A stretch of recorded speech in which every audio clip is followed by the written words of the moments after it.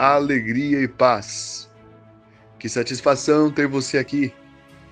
Toda semana nos empenhamos em trazer para você as maravilhas da nossa fé católica. Portanto, não saia daí. Acomode-se, beba conosco um pouco mais da sabedoria de vida dos nossos pontífices.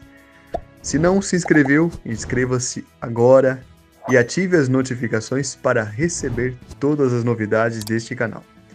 Curta, compartilhe e vem comigo espalhar o conhecimento da nossa fé.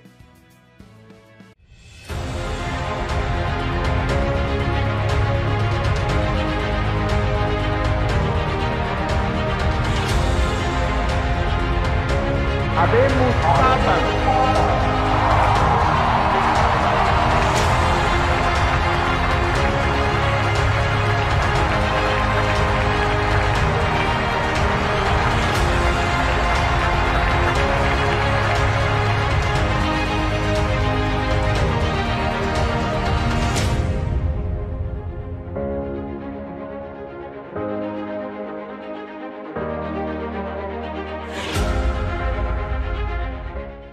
O Papa São Calixto I foi o nosso 16º pontífice. Desde os primeiros príncipes apostólicos que ocupou a cátedra de São Pedro, foi um dos que mais se destacou.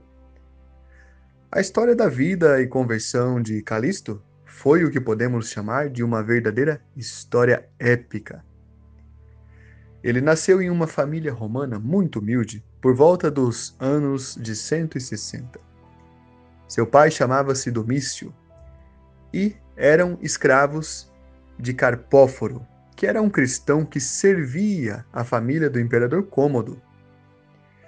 Carpóforo estimava muito Calixto e, inclusive ao ponto de confiar a ele a responsabilidade pela coleta de esmolas para dar às viúvas e órfãos da igreja. Num determinado dia, algo deu muito errado para Calixto. Ele teria perdido o dinheiro da coleta ou daria no mesmo furtado aquela quantia. Ele não era cristão, não havia nada a perder. Não sabemos ao certo. Mas por causa disso, ele resolveu fugir de Roma. Porém, foi capturado ao tentar pular de uma ponte na cidade de Ostia e foi devolvido ao seu senhor Carpóforo. Mais tarde, Calixto foi alforriado, graças ao pedido de vários credores que acreditavam que poderiam recuperar o dinheiro de alguma maneira. Liberto, o jovem Calixto teve uma vida conturbada e acabou comprando uma briga em certa ocasião no meio de uma sinagoga com um judeu com quem mantinha negócios.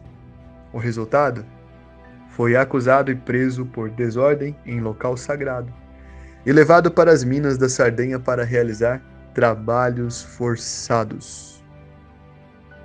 Naquela prisão, ele pôde conviver com cristãos que haviam sido condenados, pois naquela ocasião ser cristão era algo ilegal.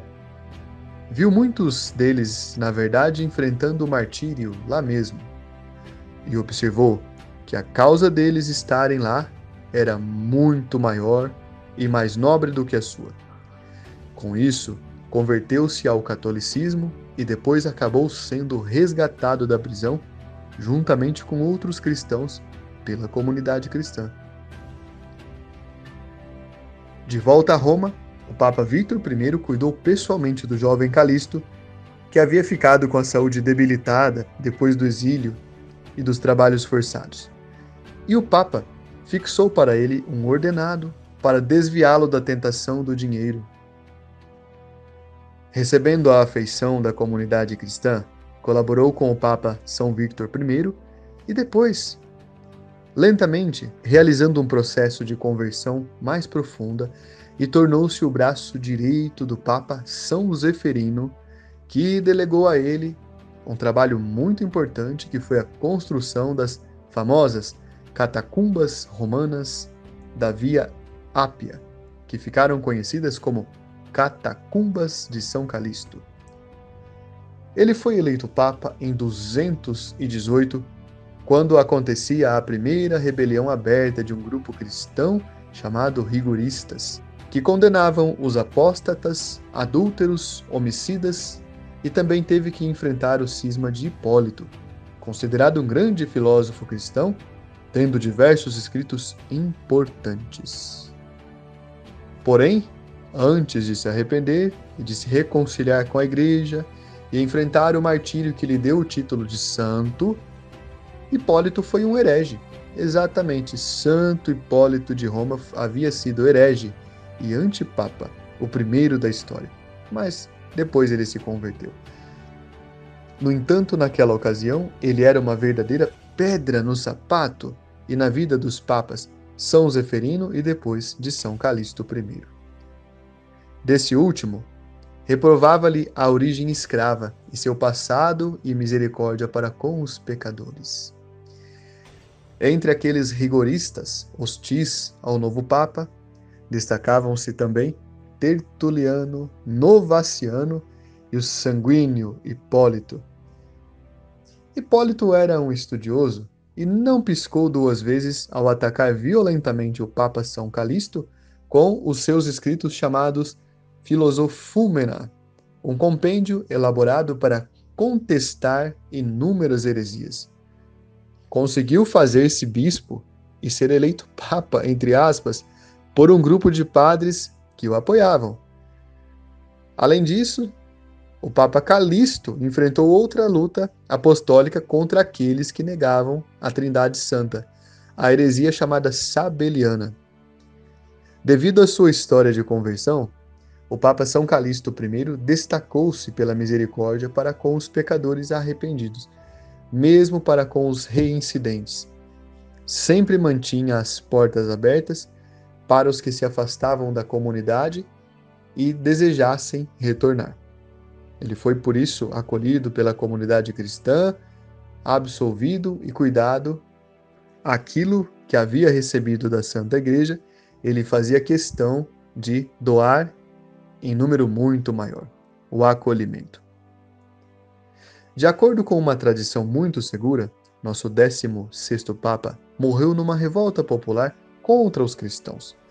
Teria sido lançado a um poço, tornando-se mártir no ano de 222. Os cristãos, não conseguindo chegar até as catacumbas da Via Ápia, sepultaram-no na Via Aurélia. E desta, São Gregório III transferiu para a Basílica de Santa Maria em Trastevere.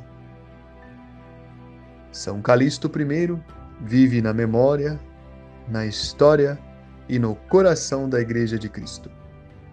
São Calixto I, nosso 16º Papa, rogai por nós.